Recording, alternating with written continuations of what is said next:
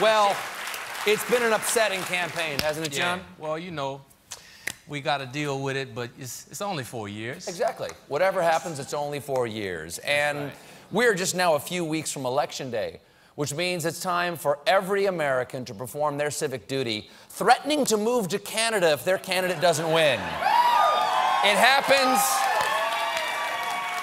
Talk like this happens every four years. Canada's like America's safety school.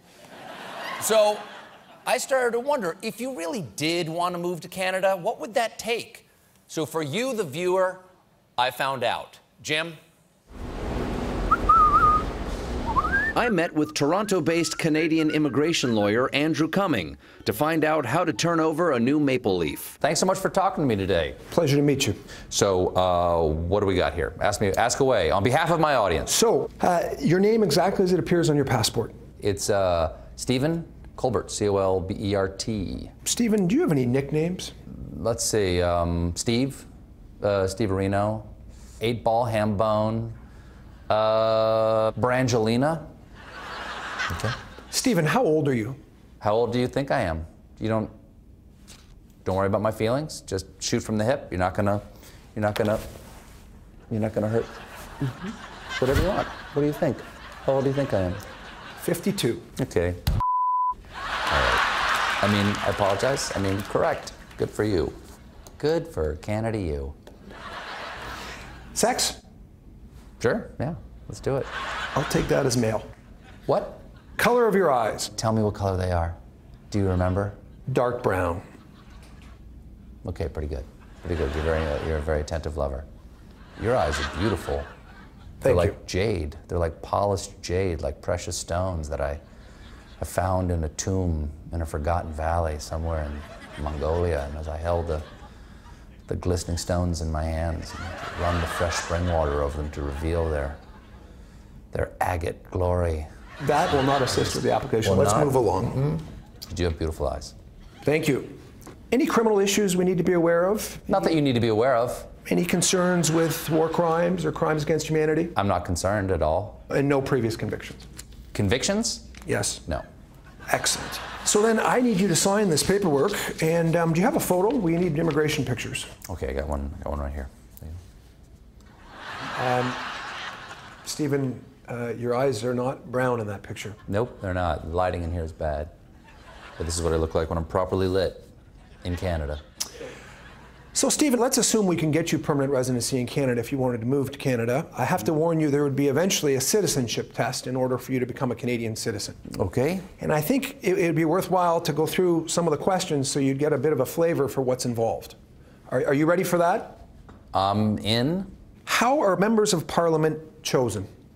Oh, um, a lumberjack competition. The octagon. The Canadian octagon. No. Two men enter, one man apologizes. No. No. No. Okay. Sorry. Uh, let's let's Let's let's try this one. Sure. Name two Canadian symbols. The maple leaf. And the bare naked lady. I'm going to give you half a check for Half a that. check for that. Yes. All right, great. All right. Things turn around now.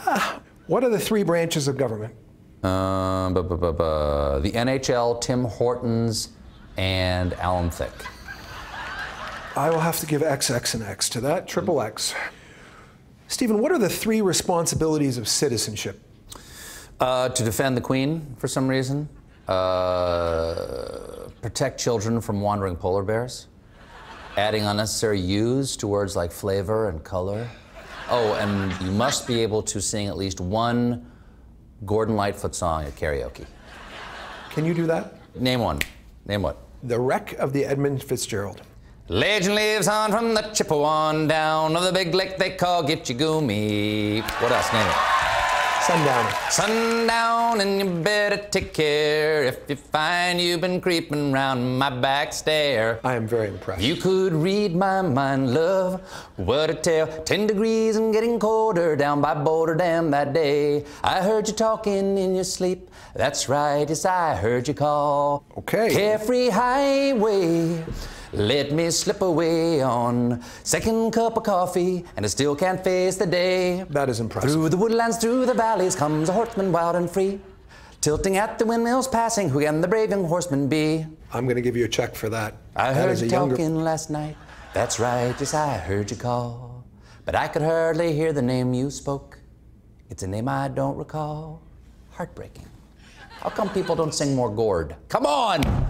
I'm a Canadian. I bet Justin Trudeau couldn't name that many Gordon Lightfoot songs. I can sing them, baby. That was very, very impressive. Thank you very much. So, am I a citizen now? Not quite a citizen, in fact, not even a permanent resident, but uh, we would love to have you. Well, Andrew, I'd love to be had. Thank you so much. Canada, here I come. Maybe. We'll see what happens on November 8th. Good luck. Thank you, Canada. We'll be right back with Tiger Woods.